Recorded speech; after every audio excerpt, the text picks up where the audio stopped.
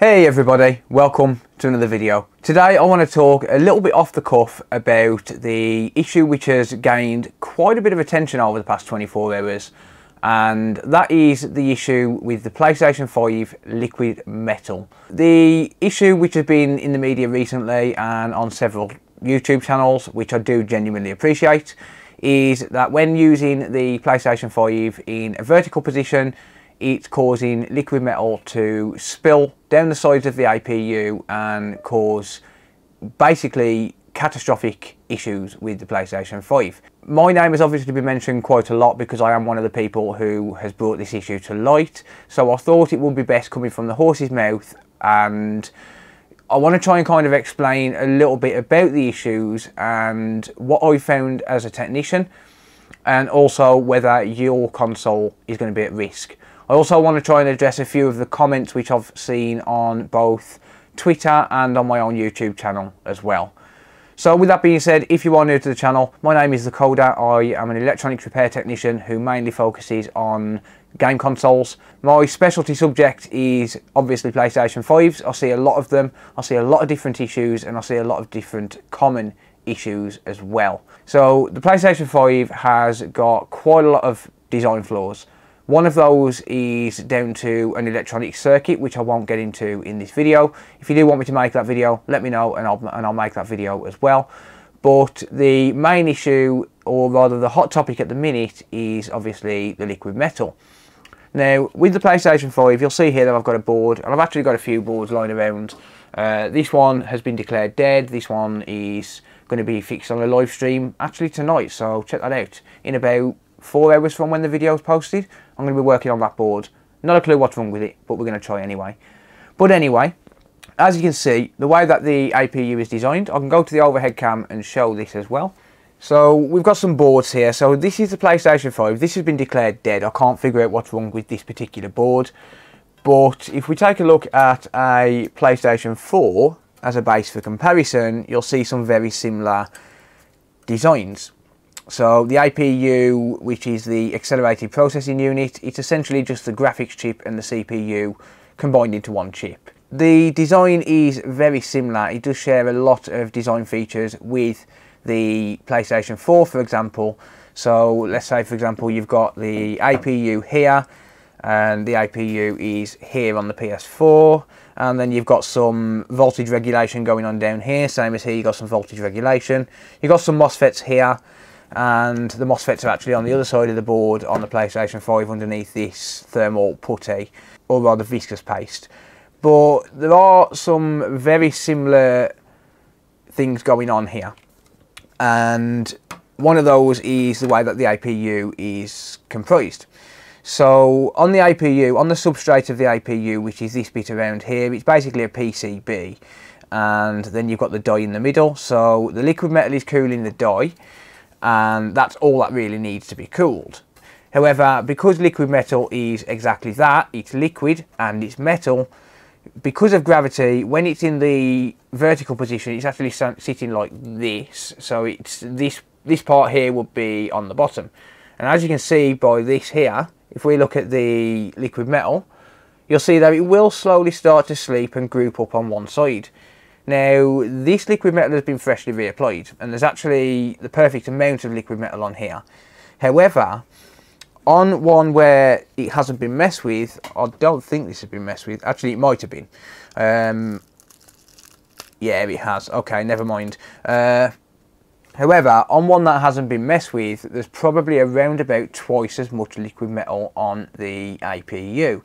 So this is what the APU is meant to look like with the protective foam and also uh, the protected protective tape, I think it is. It's some sort of tape.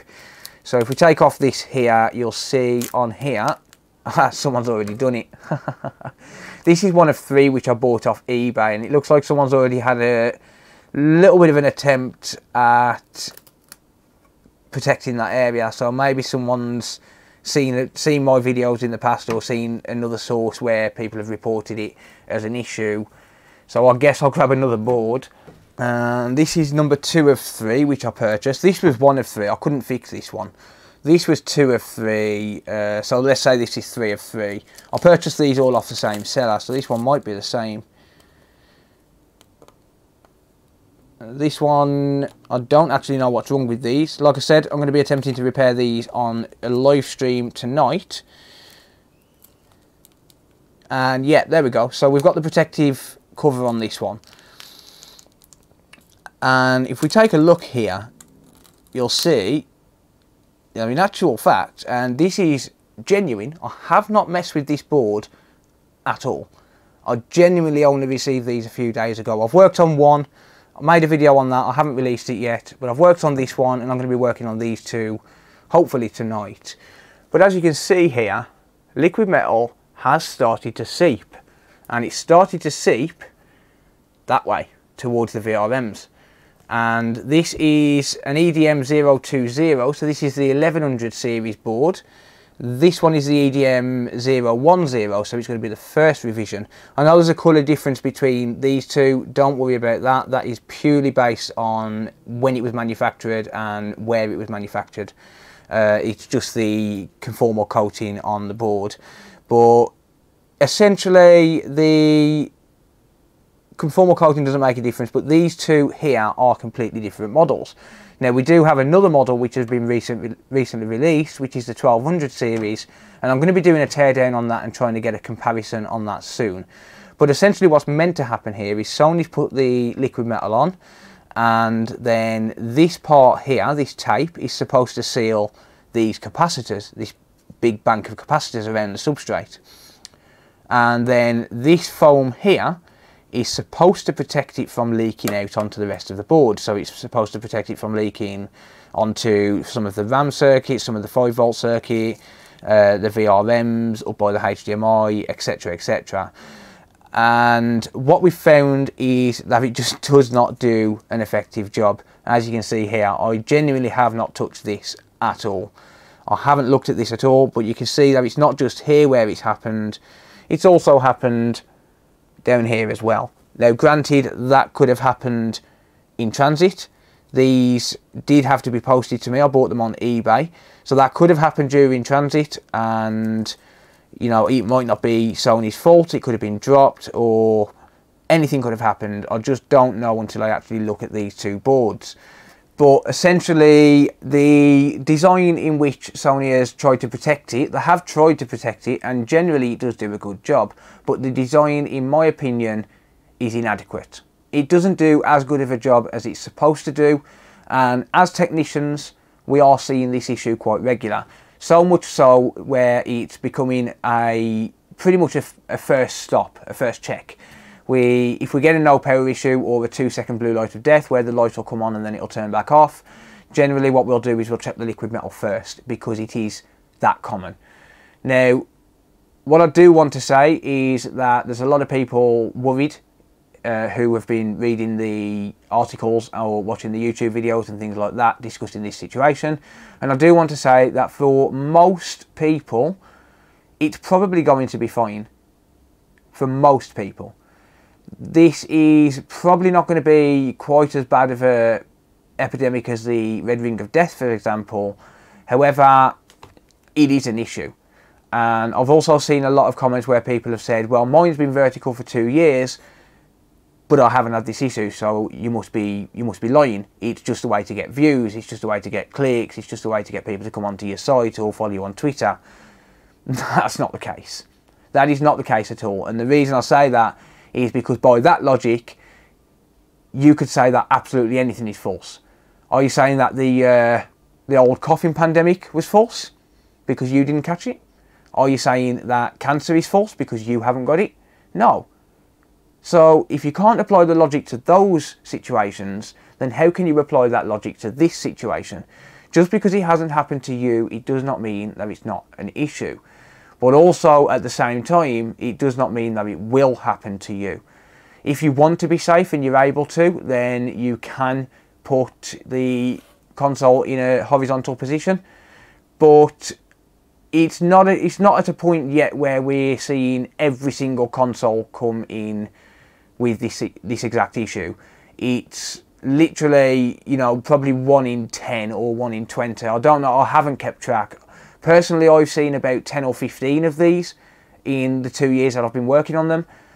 That's quite a lot for me. That is quite a lot. I'm not a busy, I mean, I'm in my loft. I work from my loft. I don't work in a shop. I don't have a retail location. I perform repairs in my loft, in my house, and I mainly do it for YouTube content.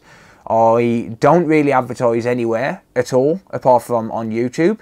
If people want to send something for repair, they send it for repair, but for the most part, it's stuff that I'm buying.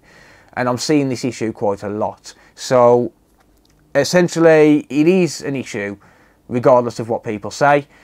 How big of an issue, we don't know. We need, realistically, we need Sony to comment, and we also need to see the design differences when the apparent PlayStation 4 Slim or sorry PlayStation 5 Slim or PlayStation 5 Pro get released.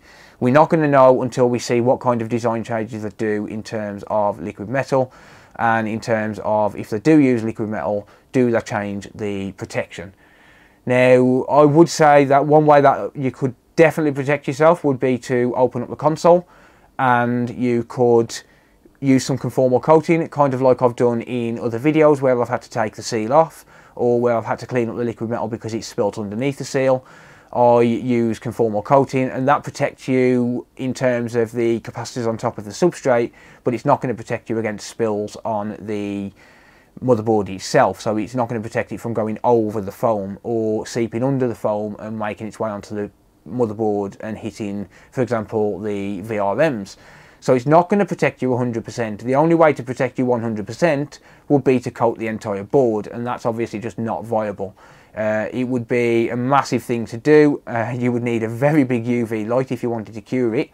You can use something called solder mask, which is a UV curable kind of ink, and it cures really, really hard, and it will insulate any electronic circuit but it's obviously not cheap. Well, it is cheap, but if you wanted to do the entire board, yeah, not an option. You could also use something called liquid tape. So liquid insulation tape, kind of similar to solder mask or conformal coating. It would insulate it, it would cure out, it would harden, and you could do it with that. Or you could also use something like nail varnish as well. So if you've got some nail varnish lying around, you could cover it in that. That would of course mean opening up the console and potentially voiding your warranty. Uh, if you make any kind of modifications to the board at all, I will say 100% you are absolutely going to void any warranty. So if it is still in warranty, don't do it. Don't do this until it comes out of warranty because you don't want to jeopardise any future repair that Sony might offer under the warranty program. Now, a lot of people have also been saying they've used liquid metal on their PC for years and they've never had a problem, etc, etc. And I absolutely agree with them. However, the design of a PC is much different to a PS5. The design of a PC, when you use liquid metal, it's generally a user which is doing it. And for example, I've used liquid metal both on my laptops and on my PC in the past. I don't currently use them because it's not needed. I've got a high-end PC which is capable of doing everything I need to do without overclocking. But I have used liquid metal in the past and I didn't have an issue myself. But the point I'm trying to make here is that when people apply liquid metal to a PC, they take precautionary measures. Precautionary measures which are far more effective than what Sony have taken in the PlayStation 5. So when you apply liquid metal to a PC or a laptop, yes, we do use conformal coating or nail varnish or liquid tape. We do take those measures and it does prevent any damage. And also as well the design of the CPU inside the socket and things like that is much different to a PS5 the CPU hasn't got a bunch of capacitors on the top of the uh, CPU on top of the substrate and the PS5 has. So that's another issue. If, if any of those capacitors short out they are incredibly sensitive. Incredibly sensitive. Don't forget they are connected directly to the CPU or the APU. The reason that they're so close to the CPU or the APU is because they want to keep them with as little noise as possible on the line. I'm not an engineer, I know my t-shirt says. I am, out, I am, but I'm not qualified, so I don't know everything about them. But you keep it close to the CPU, as close as possible, which is hence the reason for the decoupling caps on the back as well, because it's in direct contact and as, sh as short of a path as possible. They want to reduce noise and they want to reduce impedance and things on the on the circuit. Uh, one person that is absolutely fantastic at explaining that stuff is Dave Jones from the EEVblog.